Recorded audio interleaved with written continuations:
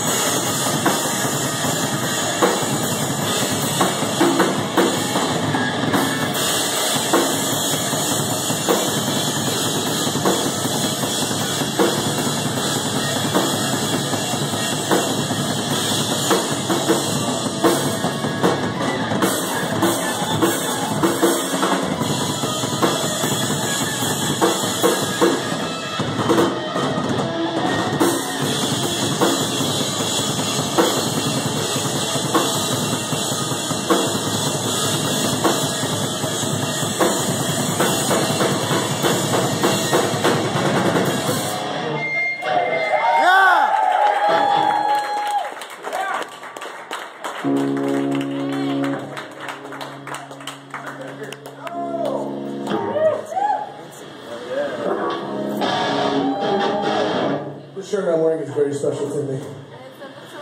This is extremely fine black chick in the crowd. You can ask her about it.